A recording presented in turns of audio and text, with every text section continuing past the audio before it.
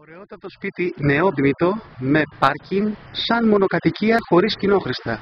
Έχει αυτά εδώ τα σκαλιά, είναι σε πάρα πολύ ήσυχη γειτονιά με πολύ καλά θερμομονωτικά κουφώματα, χωρίς υγρασίες, χωρίς κοινόχρηστα. Έχει τέντα, ωραία διαρρύθμιση, άνετη σαλοκουζίνα, δύο μεγάλα δωμάτια γήπεδα, τεράστια δωμάτια, θα παραδοθεί φρεσκοβαμένο. Υγρασίες δεν έχει, ούτε προβλήματα. Έχει πολύ ωραία άβρα,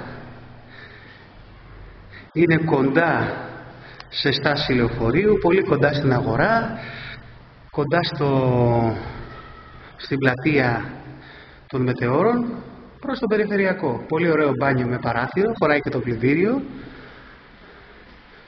είναι φρεσκοβαμένο, έχει και υποδοχή για σόμπα αν κάποιος θέλει να βάλει. Αυτή εδώ είναι η κουζίνα του, γεμπερέστατο, από κάτω καλυμμένο, από πάνω καλυμμένο. Σε πολύ ήσυχο δρόμο, χωρίς φασαρίες. Ωραιότατο, αξιοπρεπέστατο και χωρίς κοινόχρηστα, σαν μονοκατοικία και με πάρκινγκ.